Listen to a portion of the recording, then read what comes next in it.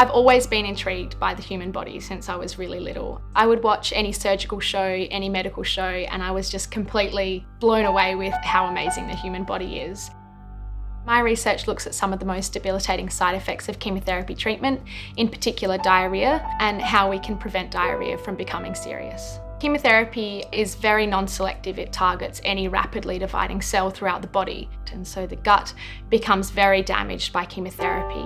We have a lot of patients that go through treatment. They get very severe diarrhea and they don't want to talk about it. No one wants to talk about their bowel habits. And so there is this bit of a thing that poo is taboo. Um, and I want to prevent that. I want people to talk about their poo.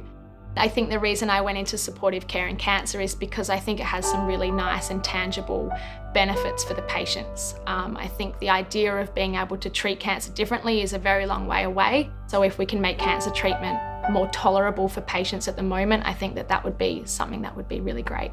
My name is Hannah Wardill and I'm a postdoctoral research fellow at the South Australian Health and Medical Research Institute and the University of Adelaide.